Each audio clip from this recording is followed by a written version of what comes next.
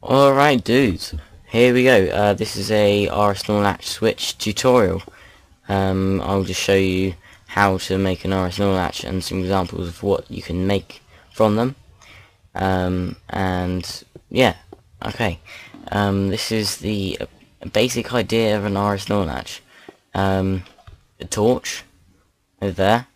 Um, that turns um, this torch off which then doesn't power this. So um, that's kind of a loop. And then um, when you press the torch making this turn off this unpowers that allowing this to go on which powers this. Um, and this you can do any of these as your output like that or as I've done there.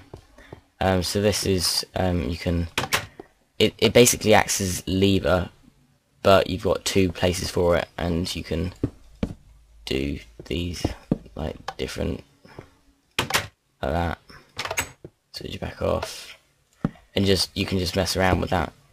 Um, right the basic idea of an RS latch you um, one block there and one block there like diagonal. So it's one block in between like that. Uh, stick one torch facing that way over there and one torch facing that way. You just literally chuck redstone there um, doesn't matter which way you put it. Uh, then you just lob some buttons on. Uh, and you can set an output there or an output here. Doesn't matter.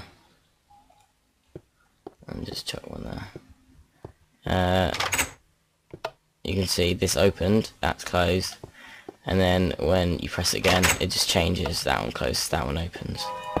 Um, so if you can see okay uh, these are other designs. Um, this one is um, a too wide one. Uh, it's a lot more compact than this one, but that's just a simple idea.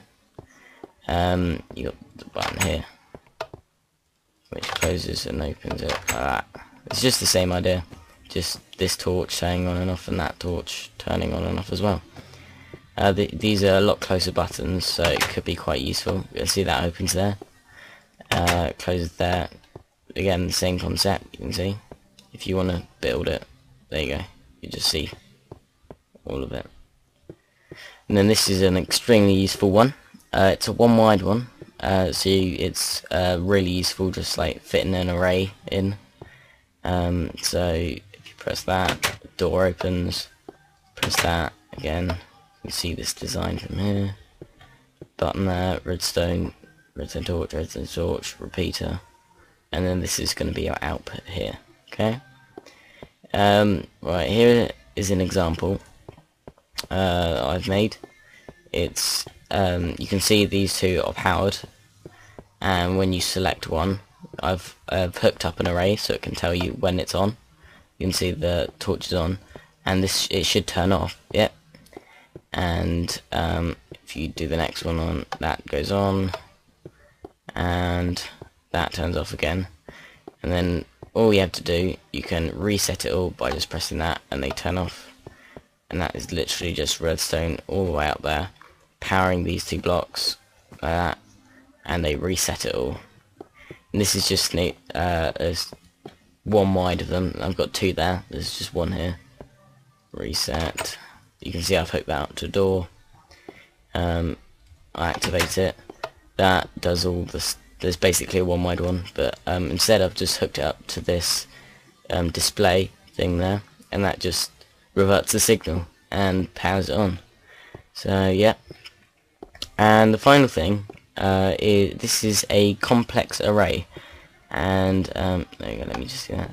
Uh, it's good for stations and stuff like you can just go through here and put your minecart in select it but the reason why it's complex is if you select it, that's the same as that one over there. But when you select another one, it resets the whole line and then picks the one you want again. So you can press um, any one of them and it'll always be the last one there.